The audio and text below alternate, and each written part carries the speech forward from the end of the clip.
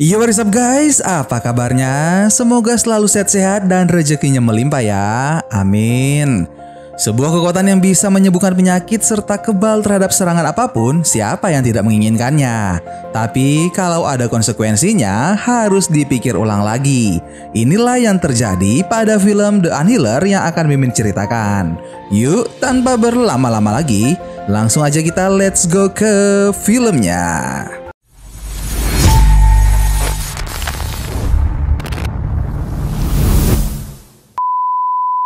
Film diawali dengan menampilkan seorang pendeta bernama Fluger yang pergi ke sebuah kuburan untuk mendapatkan kekuatan dengan menggali kuburan itu lalu petir menyambar. Sehingga Fluger pun terbanting mengenai mobil namun anehnya ia tak merasakan kesakitan karena ia sudah mendapatkan kekuatan yang ia inginkan dari kuburan tersebut. Scene lalu berpindah menampilkan seorang remaja bernama Kelly yang pergi ke supermarket untuk berbelanja. Ia kemudian bertemu dengan Dominic dan juga Sarah. Setelah saling menyapa, Kelly pun keluar lalu memakan makanannya. Namun yang ia makan bukanlah isinya melainkan kertas kemasan. Tak lama kemudian datanglah sekelompok remaja yaitu Nelson, Tony, Brad, dan juga Reed. Sekelompok remaja itu mengganggu Kelly dengan menamainya sebagai bocah sampah. Lalu datanglah Dominic dan juga Sarah. Mereka menegur Nelson dan kawan-kawan agar tidak mengganggu Kelly. Namun, tindakan sekelompok remaja itu malah semakin keterlaluan dengan memasukkan Kelly ke tong sampah. Tony memegang kaki Kelly dan Reed merekam perbuatan temannya. Dominic datang membela Kelly namun tak dihiraukan. Lalu pemilik minimarket memarahi mereka sehingga para remaja itu pergi meninggalkan Kelly. Setelah semua orang pergi, Kelly mengganti bajunya lalu pergi ke sekolah. Sesampainya di sekolah, loker milik Kelly ditulis dengan tulisan bocah sampah. Kelly pun membuka lokernya lalu memakan ujung pensil. Orang-orang menatapnya dengan tatapan mengejek karena ternyata rekaman video tadi sudah tersebar di media sosial. Kelly kemudian pergi dan tanpa sengaja mengenai Tucker.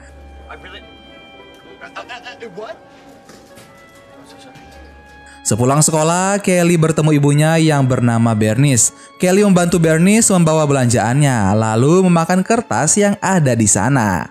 Di sisi lain, terdapat Dominic yang sedang membicarakan tentang Kelly pada ibunya. Ibu Dominic menganggap Kelly sebagai remaja aneh pemakan kertas dan benda-benda lainnya. Dominic kecewa pada ibunya yang melabeli Kelly sebagai remaja aneh sama seperti para pembuli yang selama ini mengganggu Kelly. Scene lalu berpindah menampilkan seorang pria bernama Red Elk yang sedang melakukan semacam ritual di kuburan. Di sisi lain, terdapat Kelly yang terbaring lemah karena masalah gangguan makanan. Dokter kebingungan mengapa Kelly memakan sampah. Ia menyarankan Bernice untuk membawa Kelly menemui dokter lainnya. Setiap kali Bernice memanggil dokter yang menangani penyakit Kelly, mereka bertindak hal yang sama. Tak satupun dokter yang datang mampu menyembuhkan kebiasaan Kelly mengkonsumsi sampah. Di sisi lain, terdapat Fluger yang menawarkan kesembuhan pada orang sakit. Seorang wanita tua meminta Fluger untuk menyembuhkan penyakitnya. Fluger pun meminta wanita itu untuk memberikan uang terlebih dahulu. Lalu barulah Fluger berdoa agar penyakit wanita itu disembuhkan. Ajaibnya, penyakit wanita itu benar-benar disembuhkan dan ia tidak lagi kesakitan. Kejadian itu tak luput dari perhatian Bernice dan juga Red Elk. Pada sore harinya, Bernice meminta bantuan Fluger untuk menyembuhkan anaknya. Fluger tentunya bersedia. Lalu Bernice pun pergi ke mobilnya. Setelah itu datanglah Red Elk menghampiri Fluger. Red Elk ingin menghilangkan kekuatan Fluger karena ia menganggap kekuatan itu berbahaya jika disalahgunakan. Fluger pun menolak tawaran Red Elk sehingga Red Elk menampar wajahnya. Namun yang terjadi adalah wajah Red Elk yang terkena tamparannya. Fluger berkata bahwa ia tak akan menghilangkan kekuatannya lalu pergi sambil memarahi Red Elk. Kini Fluger menemui Bernice lalu seperti biasa meminta upah terlebih dahulu sebelum menyembuhkan Kelly. Setelah memberikan uangnya, Fluger memberikan Alkitab pada Bernice. Saat Fluger mulai menyentuh Kelly, tiba-tiba ia merasa kesakitan.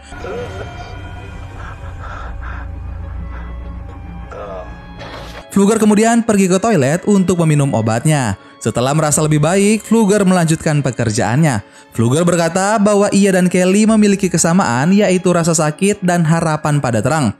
Fluger kemudian menyentuh dada Kelly sehingga ia merasakan kesakitan yang luar biasa, lalu rokoknya terjatuh mengenai dada Kelly. Fluger menahan rasa sakit sampai-sampai kencing di celana lalu tewas saat itu juga. Para petugas kepolisian membawa mayat Fluger lalu seorang syarif bernama Adler menginterogasi Kelly dan juga ibunya.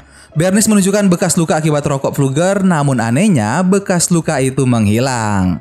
Scene lalu berpindah menampilkan Kelly yang sedang memperbaiki rantai sepedanya. Tanpa sengaja, Kelly melukai jarinya. Anehnya, luka itu seketika menghilang tanpa meninggalkan rasa sakit. Kelly pun menunjukkan jarinya pada Bernice dan mengatakan keajaiban tadi. Awalnya Bernice tak mempercayainya, lalu Kelly meminta minuman Bernice, kemudian meminumnya. Bernice bahagia melihat Kelly yang meminum sodanya dan bukan kalengnya. Kelly pun kemudian berangkat ke sekolah, tanpa ia sadari ada Red Elk yang mengawasinya. Di tengah perjalanan menuju sekolah, rantai sepeda Kelly lagi-lagi terlepas. Lalu datanglah Dominic dan juga Sarah. Dominic terkejut melihat tubuh Kelly yang menjadi lebih berisi dari sebelumnya. Dominic berkata bahwa ia menyukai Kelly yang baru. Setelah Dominic pergi, datanglah Reed berkata bahwa Dominic lebih cocok dengan kakaknya Nelson. Reed kemudian menampar Kelly, namun malah Reed yang kesakitan. Pukulan yang ia berikan kembali pada dirinya sendiri. Hingga tiga kali pukulan, Reed ketakutan dan berkata bahwa Kelly adalah monster, lalu lari menjauhi Kelly. Sepulang sekolah, Kelly melihat lowongan kerja. Saat berada di rumah, Kelly memberitahu ibunya bahwa ia mendapatkan pekerjaan di sebuah restoran. Tak lama kemudian, ayah Reed yang bernama Gus datang untuk memastikan apa yang terjadi pada anaknya. Kelly menjelaskannya dengan jujur, namun penjelasannya tak masuk akal. Kelly berkata bahwa Reed yang memukulnya duluan dan ia malah melukai dirinya sendiri. Bernice yang mendengar itu pun marah karena mengetahui anaknya dipukul. Lalu ayah Reed berkata, begitulah anak laki-laki. Bernice kemudian menutup pintu rumahnya. Bernice meminta Kelly untuk menjelaskan bagaimana bisa pukulan Reed malah berbalik pada dirinya sendiri. Lalu Kelly meminta Bernice untuk mencubitnya untuk membuktikan perkataannya. Dan kejadian yang sama pun terjadi. Cubitan Bernice malah berbalik pada dirinya sendiri. Bernice pun tercengang melihatnya. Namun Bernice masih ragu karena ia berpikir jika Kelly mungkin tak tahan api. Lalu Kelly mengambil pemantik untuk membakar tangannya, namun tangannya sama sekali tak terbakar ataupun merasa kepanasan. Bernice lagi-lagi tercengang. Ia meminta Kelly untuk merahasiakan kekuatannya dan tidak terlalu dominan. Scene pun berpindah pada keesokan harinya di sekolah. Kelly melihat ikat rambut Dominic yang terjatuh ke mejanya. Kelly lalu memakan kertas yang ada pada ikat rambut lalu memberikannya pada Dominic. Kelly mulai berimajinasi tentang Dominic yang ternyata bisa dirasakan oleh Dominic. Dalam imajinasinya itu, Kelly juga melibatkan Sarah sampai-sampai Kelly terjatuh lalu berlari dari kelas. Pada malam harinya, para siswa menghadiri sebuah acara. Tiba-tiba Dominic diganggu oleh Nelson sehingga Kelly datang untuk membela Dominic. Nelson tentunya tertantang lalu bersiap untuk memukul Kelly. Lalu datanglah Gus melerai perkelahian mereka. Gus menegur Kelly untuk tidak mencari masalah dengan anaknya. Kelly pun tersinggung karena yang memulai pertengkaran bukan dirinya melainkan Nelson dan teman-temannya. Kelly kemudian pergi dari acara tersebut. Setelah acara itu selesai, Nelson dan kawan-kawan melaju di tengah jalan dengan Brett yang mengemudikan mobil. Mereka pun mengincar Kelly yang ada di depan dan berniat untuk menabraknya. Brett menancap gasnya lalu menabrak Kelly. Namun tragisnya yang terluka bukanlah Kelly, melainkan Brett sendiri. Nelson dan kawan-kawan keluar dari mobil lalu melihat Kelly yang ternyata masih hidup. Barulah Nelson mempercayai perkataan Reed tentang kekuatan Kelly. Kelly murka karena mereka sudah mengganggunya yang mengakibatkan Brad meninggal dunia. Kelly kemudian mengganti bajunya dan seketika luka-luka di tubuhnya pun menghilang. Di sisi lain, pihak kepolisian mulai menginvestigasi tempat kejadian. Ayah Reed meminta Nelson dan teman-temannya untuk tidak memberitahu kejadian sebenarnya. Begitu juga dengan ibu Kelly yang memilih untuk mengarang cerita agar kekuatan Kelly tidak terungkap. Scene lalu berpindah menampilkan Kelly dan Dominic yang duduk bersama untuk membahas rencana mereka pergi menonton bioskop bersama. Di sisi lain, terdapat Nelson dan teman-temannya yang merencanakan balas dendam atas kematian Brad. Reed memperingati Nelson untuk tidak mencari masalah dengan Kelly. Namun Nelson menolaknya. Ia memutuskan untuk memulai rencananya pada malam hari. Setelah pulang sekolah, Kelly mulai bekerja. Saat ia membersihkan pemanggang, seorang pria menyuruhnya untuk membuang sampah. Saat pria itu memegang besi yang diberikan Kelly, ia meringis kesakitan karena besi itu sangat panas. Saat Kelly membuang sampah, Red Elk datang menghampirinya lalu bertanya tentang Fluger. Kelly pun menjawab seadanya lalu segera kembali ke restoran. Sepulang bekerja, Kelly melihat ibunya yang sedang sakit. Kelly kemudian membelikan obat sakit kepala menggunakan mobil. Di sisi lain, terdapat Nelson yang melihat mobil Kelly dan mengira Bernice lah yang pergi. Maka mereka pun segera melakukan rencananya. Nelson mengancam Reed yang tidak mau bekerja sama. Lalu mereka mengikat rantai pada penyangga rumah, kemudian menariknya menggunakan mobil sehingga rumah Kelly roboh yang menyebabkan gas meledak dan membakar Bernice yang terjebak.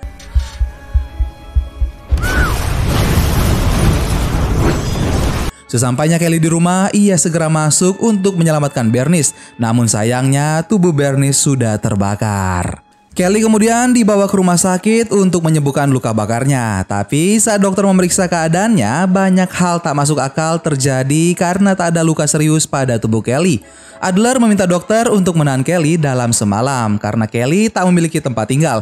Lalu Adler dipanggil oleh Red Elk yang ternyata adalah teman lamanya. Adler juga ternyata mengetahui legenda tentang kekuatan yang dimiliki Kelly. Red Elk meminta Adler untuk membujuk Kelly agar Kelly mau mengembalikan kekuatan itu seperti semula.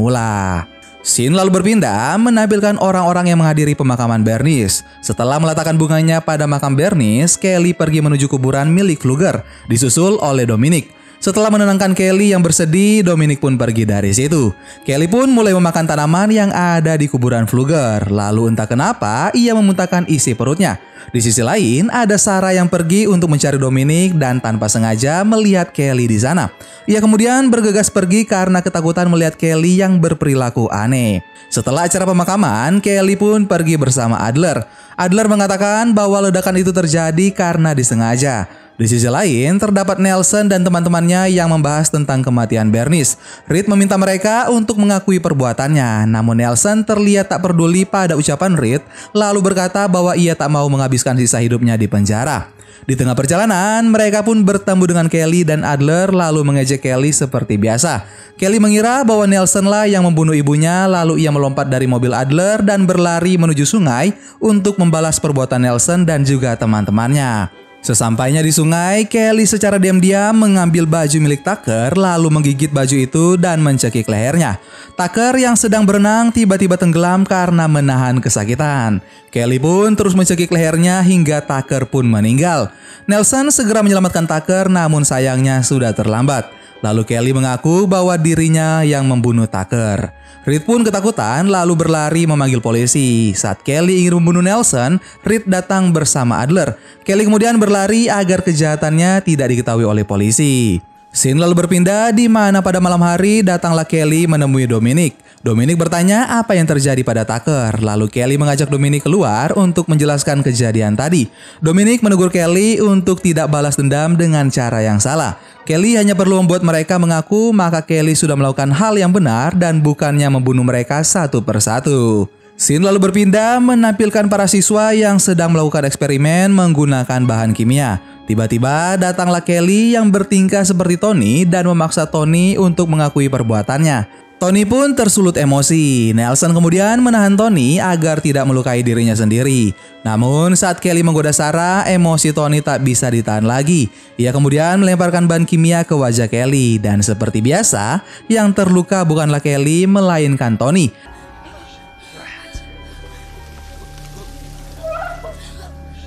Dominic memarahi Kelly, namun Kelly membantah bahwa itu bukanlah kesalahannya. Saat polisi datang, Kelly pun pergi dari ruangan itu. Di sisi lain, Sarah berdiskusi dengan Nelson untuk membalas perbuatan Kelly terhadap Tony. Sarah mengetahui kelemahan Kelly, yaitu tumbuhan yang berada di kuburan Fluger. Mereka kemudian pergi ke sana untuk mengumpulkan tumbuhan liar, lalu Nelson meletakkannya di bak mandi. Pada keesokan harinya, Red Elk dan Adler membongkar kuburan milik Fluger. Lalu Adler memperingati ayah Reed untuk berhati-hati terhadap Kelly. Namun ayah Reed tak menghiraukannya. Di sisi lain, terdapat Kelly yang mencari kaos kaki milik Nelson, lalu membobor yang ada di mobil Nelson.